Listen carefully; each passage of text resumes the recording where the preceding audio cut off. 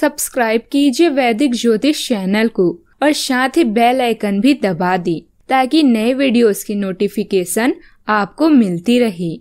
जय संतोषी माँ। दोस्तों, स्वागत है आपका वैदिक ज्योतिष में। जानते हैं आज क्या कहती है आपकी राशियाँ। कैसा रहेगा आपका दिन? शुरुआत करते हैं आज के सुविचार से।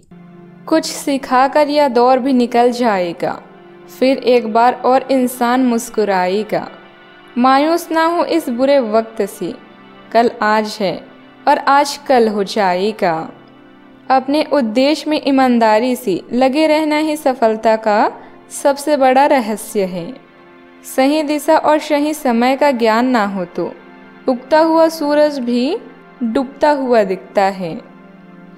आज का पंचांग 4 अक्टूबर 2021 दिन सोमवार, आश्विन मास के कृष्ण पक्ष की त्रयोदशी तिथि।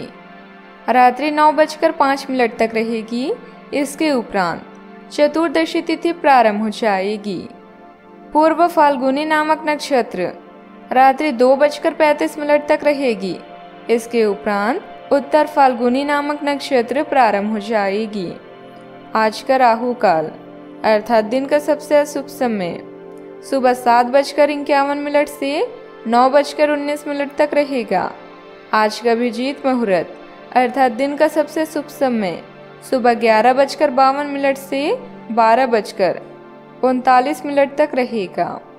आज चंद्रमा सिंह राशि पर संचार करेगी और आज सूर्य कन्या राशि पर रहेंगी।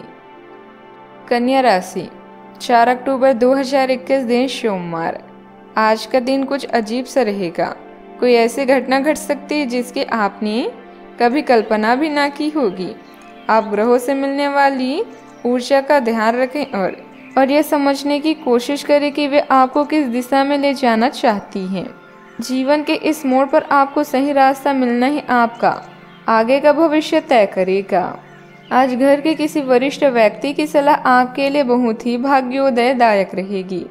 इसलिए उनकी किसी भी बात की अवहेलना न करें। महिलाओं के लिए दिन बहुत ही उत्तम, फलदायक है। हर परिस्थिति में उन्हें सामना करने की हिम्मत और साहस रहेगा। संयम रखें और कुछ बातों में अपना नज़रिया बदलने की ज़रूरत है। किसी व्यक्ति से मिल रही आलोचना आलोचना नकारात्मकता बढ़ा सकती है। कोई व्यक्ति खुद की निराशा के कारण आपको तंग कर सकता है। ऐसे व्यक्ति से दूरियाँ बनाने की कोशिश करें। प्रगति की वजह से आपका उत्साह बढ़ेगा। वैवाहिक जीवन में कठिनाइयाँ महसूस हो सकती है। पैसे से संबंधित तकलीफ़ उत्पन्न होगी। ध्यान रखें, बाज़ार में नया निवेश करना चाहते हैं तो कर लीजिए। समय निराश नहीं करेगा। म्यूचुअल फंड संबंधित परिवर्तन करना चाहते हैं तो कर सकते हैं। जल्दी हाफने की समस्या रह सकती है। सावधानियाँ कभी कभी संबंधियों के प्रति नकारात्मक विचार आ सकते हैं। अपनी मनोस्थिति पर काबू रखें। संबंधों को खराब होने से बचाएँ। साथ ही अपनी क्षमता से ज़्यादा काम करने का असर स्वास्थ्य पर भी पड़ेगा। बात करते हैं लव लाइफ की।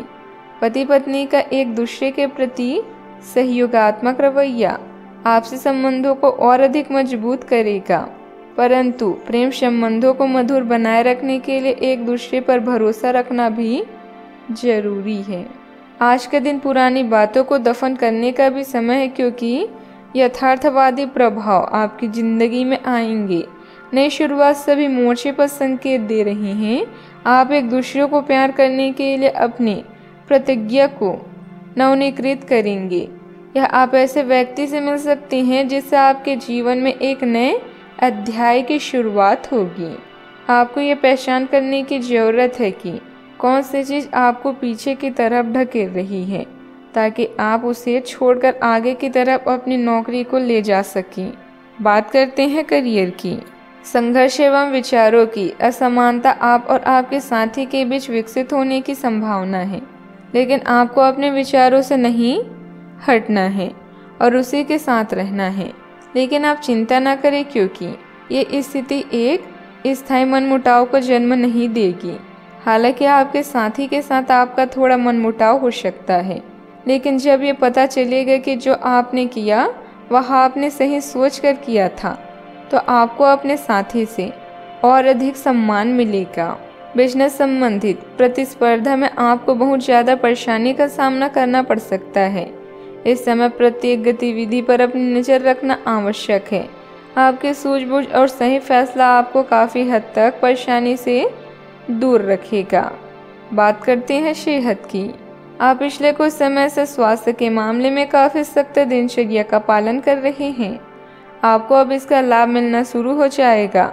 अगर आपने अपने खान पान में कुछ परिवर्तन किया है तो आपको आज इसके कारण अपने स्वास्थ्य में विशेष सुधार दिखाई देगा। इससे आपको अपने स्वास्थ्यवर्धक रूटीन पर बने रहने की प्रेरणा मिलेगी। आप इन अच्छे नतीजे को देखकर अपने शारीरिक व्यायाम को भी बढ़ाएँगे। सावधानियाँ। आज आप शंकर भगवान जी और गणेश भगवान जी की एक साथ पूजा अर्चना करें, शुभ रहेगा। जीवन में हमेशा सकारात्मक सोच के साथ आगे बढ़ते रहें। आपका दिन शुभ हो।